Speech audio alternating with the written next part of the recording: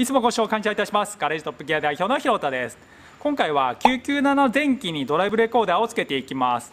ドライブレコーダー単体の取り付けっていうことは当店ではほとんどしないんですけれども点検の合間に今回つけていきます。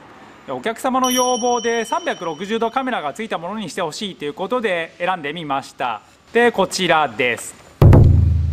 コムテック製の HDR360G っていうやつですね。今回僕も初めてつけるんですけれどもどんな感じに映るのかなと思ってちょっと楽しみです。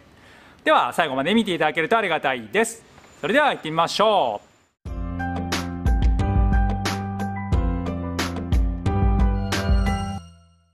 ではちょっと開封していこうかと思います。で箱を開けるとこちらが説明書ですね。ちらが多分説明書だと思います。あとはクリーナーって書いてあるのであとは両面テープですね。両面テープも一緒に入ってますね。ベースにくっつけるやつだと思うんですけれどもとクリーナーと両面テープですね。あとは説明書ですね。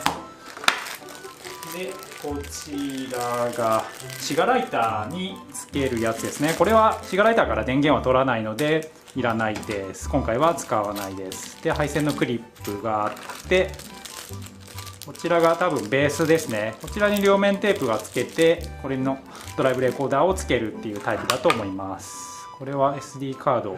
多分マイクロ SD が入ってると思うんですけれどマイクロ SD に入れてパソコンに差し込んで再生するっていうやつだと思います。アダプターですね。でこれが本体です。で通常のドライブレコーダーよりちょっと大きい感じがしますね。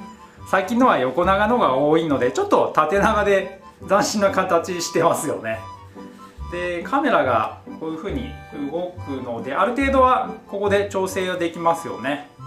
こちらがモニターですね。でサイドにマイクロ SD が入るところですね。こちらにマイクロ SD が入るところがあります。リセットボタンとこちらに電源ですね。れはアウトプットって書いてあるから出力かな？でこちらにここか。ここに電源が入るみたいですね。でガラス面に先ほどのプレートをつけてつけるっていう形になると思います。ではつけていきましょう。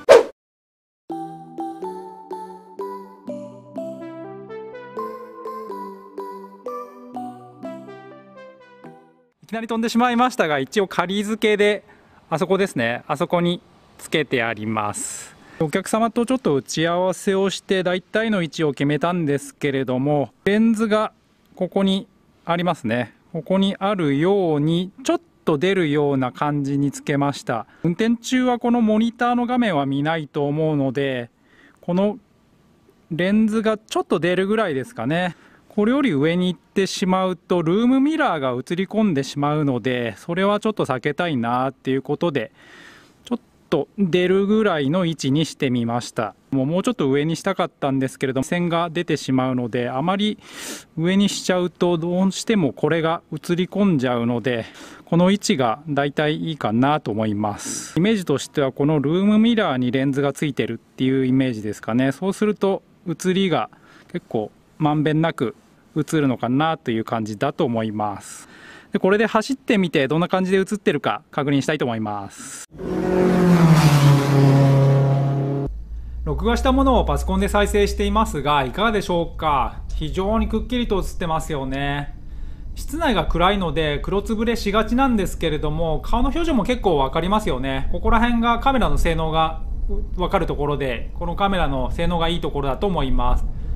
360度カメラだと左右のガラスが映ってるところがメリットかと思います。一つのカメラだとどうしてもここまで広角に映らないんですけれども今も状態が分かってるかと思います。今車が追い越してきましたけれども一時停止すればナンバーも確認できると思います。で次に見ていただくのがコムテックのホームページからダウンロードしたアプリで再生しているんですけれども信号の状態も確認できますよね。今交差点に差し掛かってるんですけれども今赤とか青とか確認できますよね。でガードをくぐるんですけれども暗くなっても顔の表情が分かりますよね。ここら辺のスピードが速いですよね。カメラの性能がいい証拠だと思います。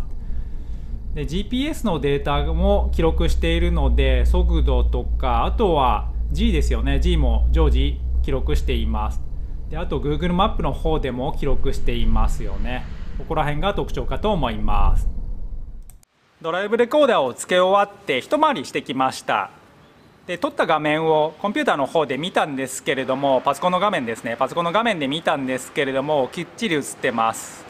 で今 YouTube の方でもアップロードしてるんですけれどもキャプチャーをした画面なのでかなり画質は落としてます。前だけのカメラと後ろ、まあ、2つつけるっていう手もあるんですけれどもそうすると配線とかが長くなったりまあ、工賃とか当然かかってきますよね。360度カメラそんなに高くはないので選択肢の中に入れてもいいのかなと思いました。最後までご視聴ありがとうございました。